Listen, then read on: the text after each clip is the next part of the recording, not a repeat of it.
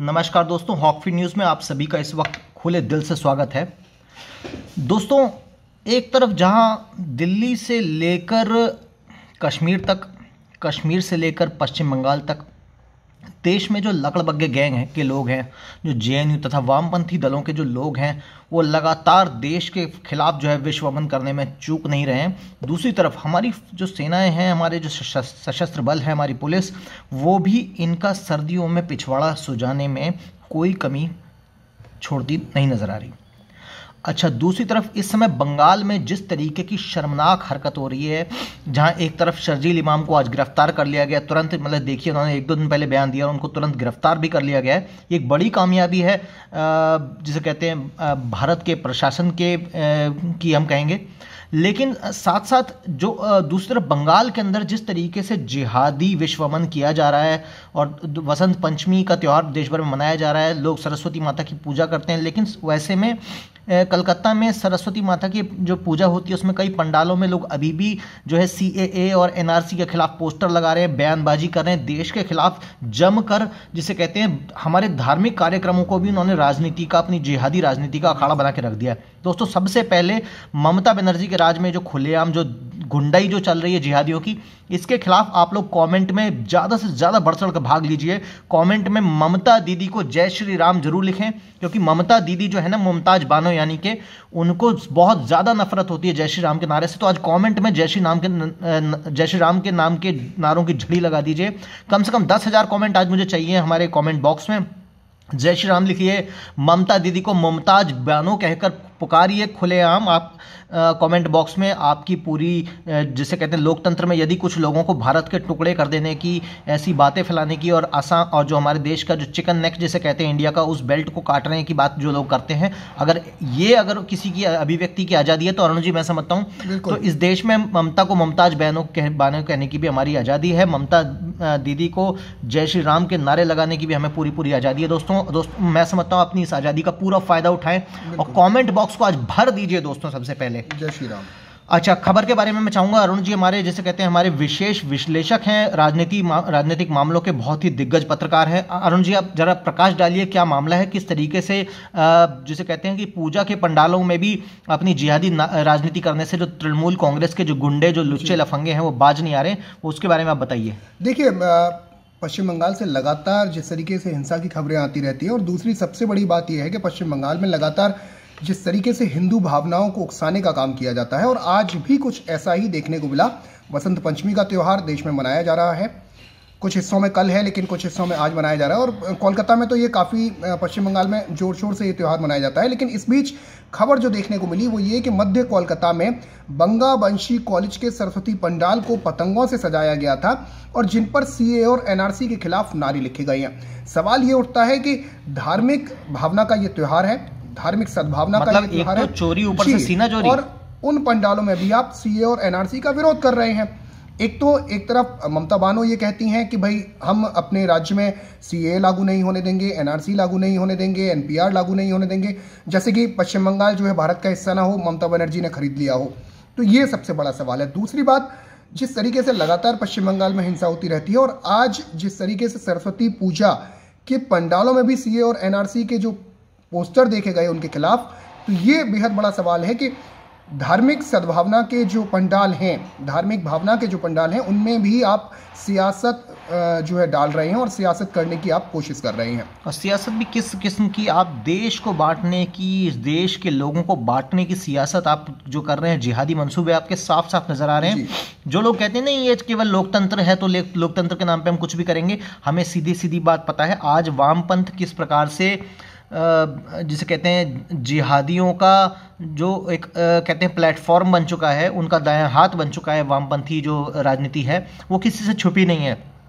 चाहे आप आम आदमी पार्टी में अमानतुल्ला की बात करें जो जामिया में गोलियाँ चलाने वाले और पत्थर चलाने वाले पत्थरबाजों को जामिया में दिल्ली में उनको पाँच पाँच लाख रुपए का मुआवजा देते हैं उनको वक्फ बोर्ड में नौकरी देते हैं। तो ये जो जिस तरीके की वामपंथी राजनीति है चाहे आम आदमी आम आम आदमी पार्टी की, बा, की बात करें या हराम आदमी पार्टी की बात करें सब ये आमी हरामी ये सब लोग यही हरकतें कर रहे हैं उसी प्रकार की राजनीति कर रहे हैं। चाहे ये बंगाल में ममता हो आपको एक बात मालूम होगी दर्शकों, शायद पश्चिम बंगाल में तकरीबन 36 से 37 सालों तक वामपंथी पार्टियों का, लेफ़्ट पार्टियों का, कम्युनिस्ट पार्टी ऑफ़ इंडिया का राज चला, जिसने वाम वामपंथ का तो प्रचार प्रसार किया ही कम पूरे बंगाल में, साथ ही साथ वहाँ के उद्योग की जो वो है कमर, वो बिल्कुल तोड़ कर रख दी। उसके बाद एक एक मजदूर यूनियनों के नाम पे जो ड्रामेबाजी करी गई, मजदूरों को बहुत लंबे समय तक हड़ताल पे रख के पूरे बंगाल का, जिसे कहते हैं ना, वहाँ का जो आर्थिक ढांचा था, उसे तरोड़ मरोड़ मरोड़ कर रख दिया। एक समय पर बंगाल जो है, भारत की आर्थिक राजनीति आर्थिक राजधानी कही जाती थी बंगाल। आज वही बंगाल, आज वहाँ के लोग जो हैं दर दर भटकने को मजबूर है। बंगाल के लोग यहाँ से वहाँ दूसरे राज्यों में जा जाके काम तलाशने को मजबूर है। उसका कारण जो है, वो वामपंथी पार्टियाँ हैं। और उन्हीं वामपंथी पार्टियों के खिलाफ बोल बोलकर बोल बोलकर ममता बनर्जी ने उनके छत्तीस, सैंतीस साल पुराने किले को वहाँ पर तोड़ा।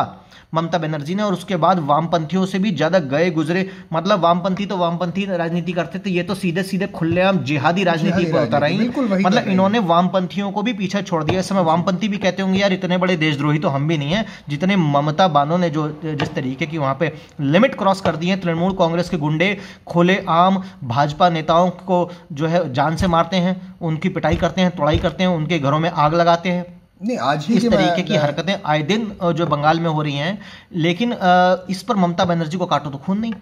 बिल्कुल शिवम जी मैं आपको बता दूँ कि आज ही की मैं घटना बताता हूँ। आज कुछ चिंदी चोरी संगठनों ने चिंदी चोर संगठनों ने आज भारत बंद का आह्वान किया था सी और एनआरसी के विरोध में एनपीआर के विरोध में। तो इस दौरान कहीं भी देश में हिंसा नहीं मिली लेकिन पश्चिम बंगाल के मुर्शिदाबाद में दो लोगों को बम से उड़ा दिया गया। मतलब किस कदर? हिंसा के अगर हम आ, हम बात करें लोकसभा चुनावों की लोकसभा चुनावों के सातों चरण हुए। सातों चरणों में वहाँ हिंसा हुई। अब बात करते हैं जब भी आप आज नागरिकता संशोधन कानून में भारत बंद बुलाया गया उसके विरोध में और आज मुर्शिदाबाद में हिंसा हो जाती है। अच्छा दूसरी चीज़ मैं वापस पंडाल पर आता हूँ जो सरस्वती पूजा के जो पंडालों को इन्होंने लिया है। टीएमसी के एक लीडर का देखिए अब बयान देखिए बयान कहते हैं कि वो नागरिकता कानून और एनआरसी का विरोध देश भर में हो रहा है। ऐसे में सरस्वती पूजा पूजा पंडाल कोई अपवाद नहीं है। मतलब कितना बेशर्मी भरा ये बयान है, ये ये और कहते हैं कि सरस्वती पूजा का जो पंडाल है, वो कोई अपवाद नहीं है। हम उसको भी लिपापोती करेंगे, हम वहाँ पर भी सियासत करेंगे। और सियासत भी ऐसी कि आप जो कानून जो कानून जो है कि संविधान के तहत बनाया गया, जिस कानून को लोकसभा और राज्यसभा से पारित किया गया, और उसके बाद उस कानून पर राष्ट्रपति महोदय मोहर लगा देते हैं। और लेकिन इन लोगों को तो लगता है ना कि इनकी नेशन स्टेट ही अलग है। जी बिल्कुल बंगाल को बांग्लादेश समझ लिया है। बिल्कुल जैसे बांग्लादेश मैं चेतावनी देना चाहता हूँ तृणमूल कांग्रेस पार्टी के सभी गुंडों को कि बंगाल को बांग्लादेश समझने की हिमाकत ना करें।, ना करें ऐसी सोच बिल्कुल ना रखें क्योंकि यदि ऐसी सोच रखेंगे तो वो दिन दूर नहीं। जब बंगाल के अंदर दोबारा से भगवा लहराएगा और बंगाल के अंदर पूरी तरह से भगवाकरण बंगाल का होगा और उसे कोई रोक नहीं सकता आने वाले वक्त में। और रही बात बांग्लादेशियों की तो उनका उनके दिन अब मैं समझता हूँ कि उन बांग्लादेशियों की तो अमित शाह जी ने साफ़ साफ़ बोल दिया जब इस देश का गृह मंत्री खुले मंच पर कह रहा है कि देश के अंदर बांग्लादेशियों की उल्टी गिनती शुरू हो चुकी है यानी इस देश के नागरिकों से बैर नहीं और बांग्लादेशियों की खैर नहीं। तो समझ लीजिए तो बंगाल के अंदर जिन्हें लगता है हम बांग्लादेशियों के वोट पर दोबारा सरकार बना लेंगे उनके दिन अब फिर गए हैं उनकी उल्टी गिनती शुरू हो चुकी है। बिल्कुल देखिए यही वजह है जो आपने जो नब्ज पकड़ी दरअसल में वजह यही है कि रोहिंग्या मुसलमानों के वोट पर बांग्लादेशी घुसपैठियों के वोट पर ममता बनर्जी सत्ता में टिकी हुई हैं।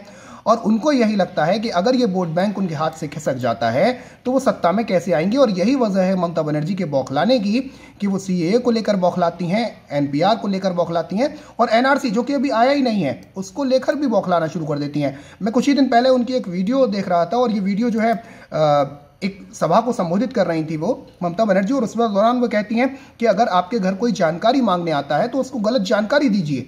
मतलब इस, जी इस कदर ये लोग हो चुके हैं एक राज्य की मुख्यमंत्री ये बयान देती हैं पब्लिक के सामने कि आपके यहाँ कोई जानकारी मांगने आता है तो आप गलत जानकारी प्रेरित राज्य की मुख्यमंत्री अपने राज्य के नागरिकों को कानूनी रूप से जैसे अपराध की कैटेगरी में जो आता है सरकारी अधिकारियों को गलत सूचना देना जो है एक अपराध है तो राज्य के मुख्यमंत्री यानी ये मुख्यमंत्री हैं या कोई खलीफा हैं हैं? ये कोई तुर्किस्तान की खलीफा हैं जिन्हें लगता है कि मेरे अनुसार चलेगा। कोई आसमानी किताब पढ़ के मैं जो मैंने मेरे मन में आएगा मैं वो बोलूँगी वो करूँगी। और मेरे को कोई पंचर लगाने वाला जो है वो उनकी पंचर लगाने वालों की कौम मुझे बचा लेगी। बिल्कुल बिल्कुल। इनकी जहन में यही भरा हुआ है। और ये ऐसा मुझे कई बार सरकार तो बचने वाली नहीं है क्योंकि ये बात तो तय है। बिल्कुल इस बार ये सरकार नहीं बचने वाली और कई बार उनके बयानों को देखकर ऐसा लगता है पश्चिम बंगाल भारत का हिस्सा ही नहीं है। उन्होंने एक अलग देश बसा लिया है और वो सोचती हैं कि ये अलग देश पर मेरा ही आधिपत्य रहेगा और ताउमर रहेगा। लेकिन ये मुगालते में जी रही है ममता बानू। इसे वंडरलैंड में कहते हैं जैसे छोटा भीम वंडरलैंड में है। इनकी हालत वही होगी ये ऐसे ही खो जाएँगे जैसे छोटा भीम वंडरलैंड में खो गया। बिल्कुल। तो वैसा ही कुछ होने वाला है लेकिन फ़िलहाल दोस्तों कमेंट बॉक्स में जय श्री राम के नारे ज़रूर लिखें। इसके साथ ही आपको बता दूँ कि ममता बनर्जी वो नेता हैं जो जय श्री राम का नारा ना तो बोल सकती हैं और ना ही सुन सकती हैं। जब कोई सुनाइए। आज कमेंट बॉक्स में सुनाइए उनको जय श्री है। राम का नारा क्योंकि वो कहती हैं कि जय श्री राम बोलने वालों की खाल उधड़वा लूँगी मैं। हाँ जी। तो आज जय श्री राम के नारे आप ज़रूर लिखें और देखते हैं कि खाल कैसे उधड़वाती है ममता एक बात और बेल आइकन दबाकर तृणमूल कांग्रेस पार्टी के मुँह पर तमाचा मारिए। हमारे चैनल का बेल आइकन दबा दबाइए। ये तृणमूल कांग्रेस के जो जिहादी मंसूबे हैं उनके ऊपर एक, एक तमाचे के रूप में होगा। ज़्यादा से ज़्यादा बेल आइकन दबाइए सब्सक्राइब कीजिए चैनल को और तुरंत बगल में जो घंटी का निशान है उसे दबाइए bell icon. And go ahead and press that. अभी के लिए दोस्तों बस इतना ही। जय हिंद जय भारत नमस्कार।